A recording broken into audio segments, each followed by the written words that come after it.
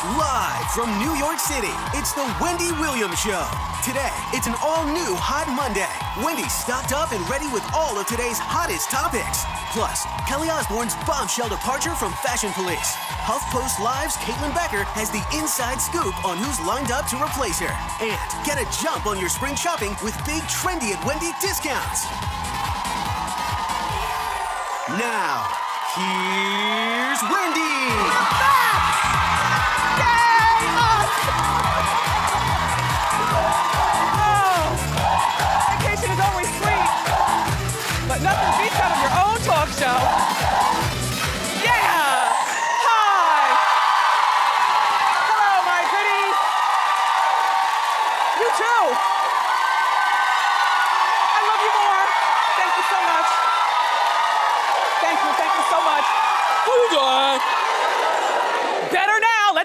Started. It's time for Hot Topics.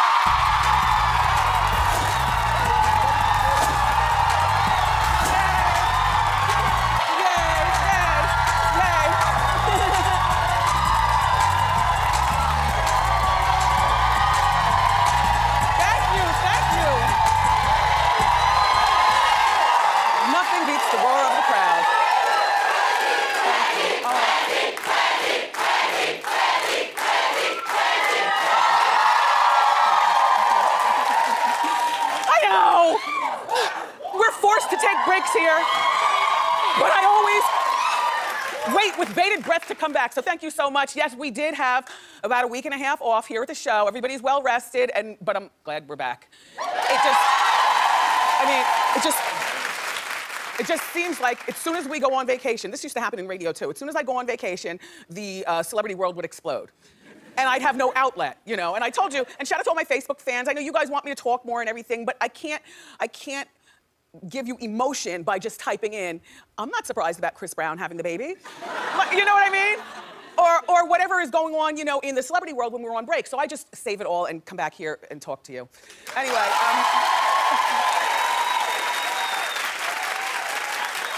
and by the way, no, I'm not surprised that Chris Brown had a baby.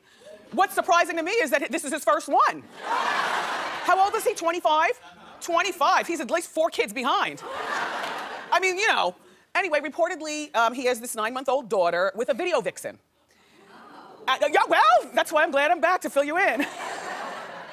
Apparently, allegedly, the video vixen, who's 30 years old and who has a 13 year old, um, was married, allegedly, at the time that she and Chris got it in. Now, all I know now is that uh, is that uh, the girl is uh, still, I guess, practicing video vixen by night, but she's in. Well, you know that gets old after a while. I mean, how many times can you pop that thing before age catches up?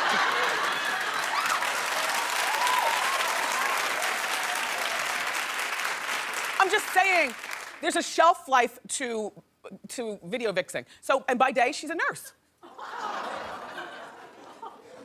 She's helping people. Anyway, um, so now the video vixen is living with um, some sort of boyfriend, and she's not with the husband anymore. And she and Chris have agreed to co-parent. Well, apparently, Chris took the DNA test. It was found out that he actually is the father. The uh, listen. So apparently, he'd been allegedly hiding this uh, baby from his girlfriend, who now broke up with him, Karrueche Tran. So when all this exploded, this is Karrueche's first time finding out about the baby too. Now I don't know whether it was a break baby. You know, that's when you break up and, and, then, and then you have a baby and then you get back together. I don't know. I don't know. All I know is that so Karrueche has fled. Um, Chris now is very upset with the video vixen because she is talking crazy and reckless on social media ab- about Chris. And now he says, well, you know what? Now we're gonna have to work out your child support because I've been paying you a lot of money on the down low to keep this out of the news and away from Karrueche and Hot Topics. But now that now that it is found out that you're the mother, you don't have to do all this talking. So because you're doing all this talking, we've got to settle this child support. I'm not going to give you as much as um, I was. I don't know. There's something about Chris. Like, don't get me wrong. I think he's very cute. He's very attractive. You know, he's he's very talented. You always have to say something good before you go in. Chris Brown just reminds me of one of these celebrities who he's good for at least seven more kids. Like, like with seven babies' mothers, right? With, with eight babies' mothers, you said? I mean, don't you think he's good for at least seven more kids recklessly just littering out there? And, and I also feel like, I also feel like this baby won't change Chris. You know how they say babies change um, men? But he's a boy still. So I don't, I don't think that this baby will change him. I think that he'll trot the baby around when he's trying to get in our good graces and the law's good graces, because you know, everybody loves puppies and babies. They make everybody go, whoa, whoa, whoa. Like, you know, you see him coming out of the Chuck E. Cheese and he's got his little daughter and whatnot. All of a sudden, all of our hearts will melt. So I think, I think he'll use the baby, like, as a prop. Um, but one thing that I would caution this, this young lady, because you're the first to have a Chris Brown baby, one thing that I would caution you, young lady, and the next seven who come behind you, make sure that you're in nursing school or doing something for your coins because Chris Brown does not exemplify to me financial responsibility. I don't know why I think that. Like they say he's worth $30 million, but I can just see him just blowing through his money and losing it and tricking it up. So, you know, you, if you're gonna have a baby with Chris Brown, get it while he's paid. and, and by the way, one other Swami prediction from me. Karrueche will be back with him before Easter, right? What, what's she gonna do? I mean, cute girl, cute girl, but what's she gonna do? If she has a baby with Chris, that's more of a liability because then she can't go on and be with like a new boyfriend because who wants Chris Brown knocking at your door all bipolar? You know, you have to deal, you have to deal with him as a baby's father. I just, but on, on the other hand, Karrueche, you know, if you were smart, you'd stop messing around with Chris and you'd get with somebody a little bit more normal like Matt Kemp. Now, now he's a, yeah, yeah right? I don't follow the sports, but you know, when sports and hot topics, you know, intersect, that's when I know. Okay, so Matt Kemp is some sort of baseball player, I think for the Dodgers. But the, how? The Padres. the Padres. You, you boys know about sports? I'm glad to be back. Um, all right, so he plays for the Padres, and I know because yeah, I know him because he used to date Rihanna. You know what I mean? But she needs to get with she needs to get with another rich guy because I don't know what she's. Karrueche, what are we gonna do for money now? All right, look, let, let's just move on. What a sloppy mess.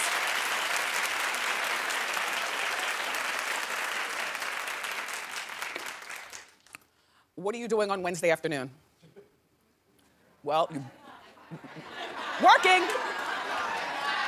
No, no, no, no, I don't come on at in the afternoon at three o'clock. Three o'clock, if you're in New York, you watch Dr. Phil.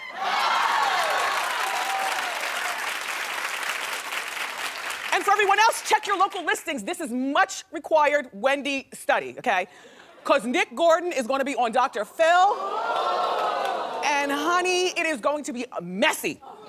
All right, so this is Bobbi Kristina's um, ex-boyfriend, uh, uh, not ex, but boyfriend, husband, brother, right? Nick um, apparently has just checked into rehab. But you didn't hear the final coup de grace of what happened. Okay, well, what happened was. I hate when the kids say that. anyway, um, it happened right after he sat down with Dr. Phil.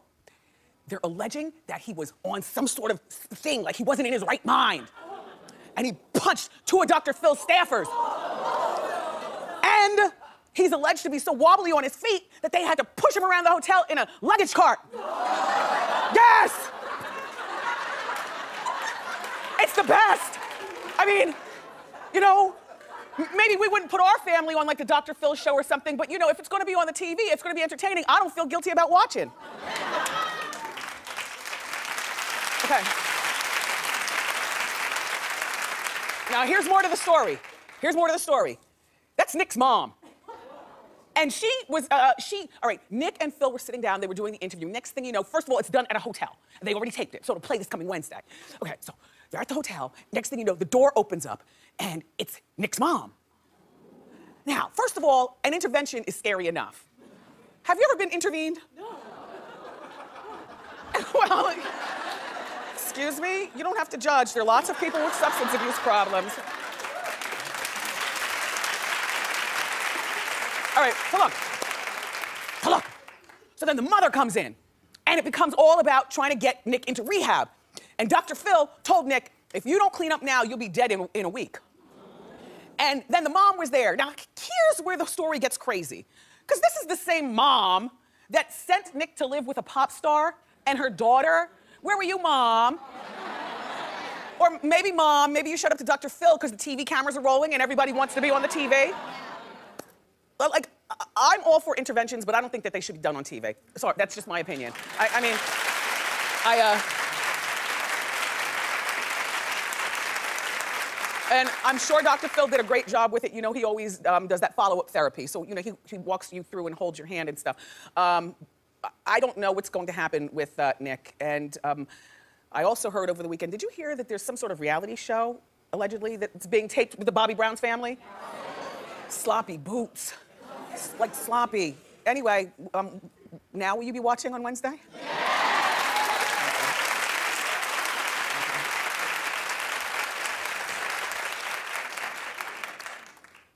Now, since I've been gone for a week and a half, a lot of things happen, and a lot of things happen that I didn't even care about. but on account of you watch the show every day and you made it here as my co-host, I'm gonna give you a story that I don't care about. and I'm only doing it because I know that you care. But don't get used to this. Everybody's talking about Kim's uh, platinum hair. Well, I figured you cared. I know my Facebook people cared. They were asking my opinion all weekend. And I said, I'll tell you on Monday when I get back. All right. Over the weekend, she went to the extreme. She, um, she dyed her hair um, blonde, but then she went back like the next day and went platinum. Show the other picture too. Now, beautiful girl. She's a beautiful girl with the black hair, and she's a beautiful girl with this blonde hair. But why does she want to go blonde and be so random like everybody else? Like, I know, look who's talking. Me and Suzanne over here judging. Uh, but Blondes have more fun. blondes do have more fun, but everybody is a blonde these days. Like, I, I remember after I had my son, you know, I wanted to be a raven haired beauty. I was never a raven haired beauty. I mean, my natural hair is brown, it's not blonde, it's, it's brown. Like, you don't even, or, um, uh, it's not black, is what I meant. But you know how after you have the baby girls, you feel like superwoman, like I am every woman, and I got this thing to take care of, and I'm gonna, I'm gonna hold it down in this world. So I figure, you know, people take a raven-haired beauty, like you have a certain edge with you. So for like his first, you know, six months, I had a long, ridiculous black wig and red lipstick. And I'd go to the grocery store like that. I'd go to work like that because there's something re- there's something real like diva about black black hair, you know. So my thought is, when you look really great, it turns out I look terrible with the black hair. It's, it's, it's, there's there's something under you know my like undertones. It looks very very bad. But this right here, look, if you can rock dark hair like that, I say do it. I.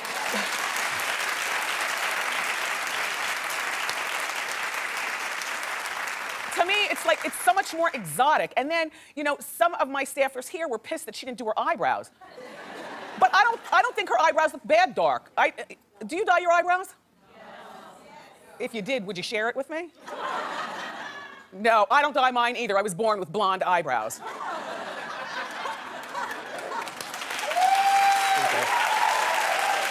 Anyway, but I say all that to say, I don't care about Kim's hair, and I don't care what she does with her hair because Kanye made her do it, most likely. right? Like, I don't care.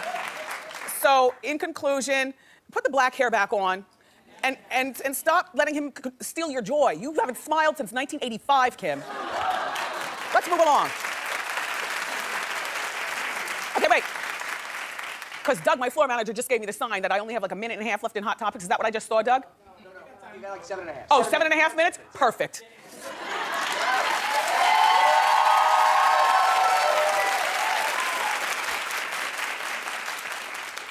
Well, you heard about Ludacris and the baby?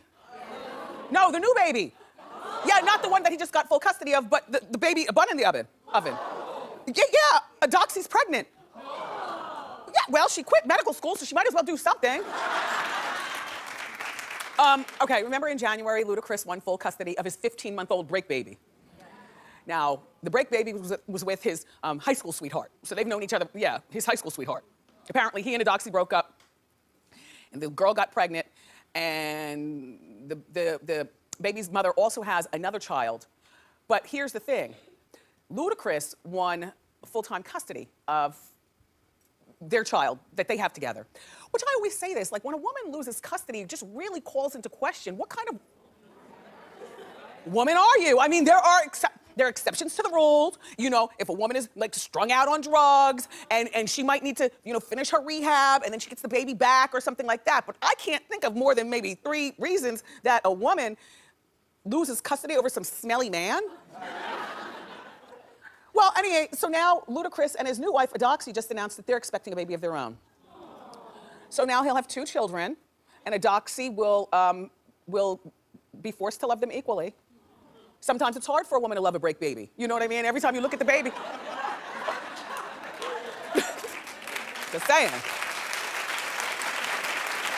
I mean, it's not right because kids don't be asked to be put in situations, but you know, if you're only human and you see your child there that you had here, and then you see this break baby over there, and you could only rescue one. Just playing. I'm playing, I missed you, I'm playing, I'm playing.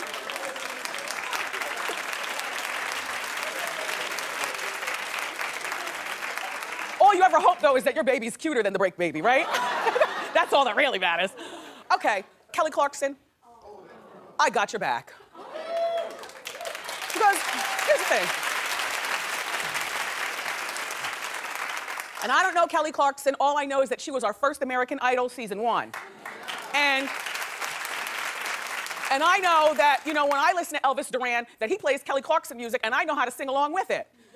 And I also know about Kelly Clarkson that she's a she's a woman's woman. Like like Kelly's weight goes up and down. We she eats like us. Which I love when my celebrities are more relatable. You know, I mean, shout out to all the celebrities with the perfect bodies, but we, we have enough of you. Now we need now we need some girls who fight for their weight.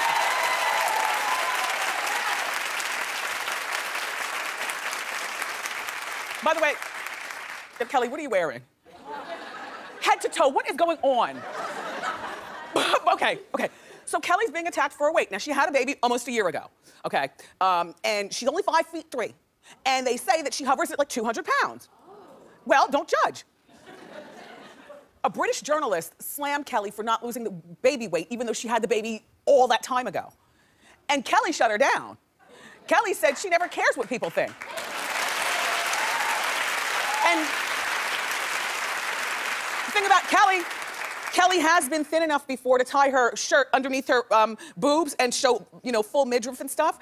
Um, but she's also been as big as this. And I think that there, are, there, there's too much of an expectation on women, famous women and women at the mall in Jersey.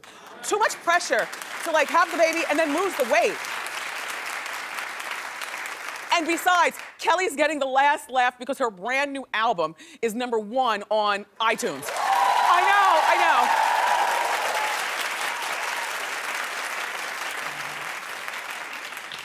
Amal Abadubide Clooney has a new job, and it's right here in New York.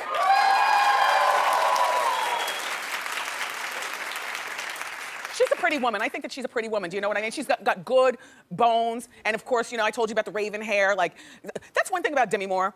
Demi Moore has always stuck to that raven hair thing. I like, like, I like that. Anyway, so this Amal Abadubide, she's got a new job. She's going to be professor at Columbia Law School here in New York. I know.